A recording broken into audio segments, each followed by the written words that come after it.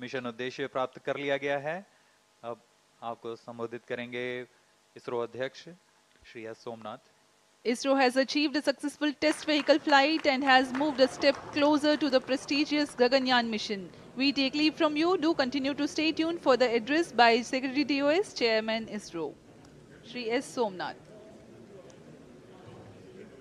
आप सभी दर्शकों को शुभकामनाएँ हम आपसे आज्ञा लेते हैं Sir, thank you, sir. Thank you.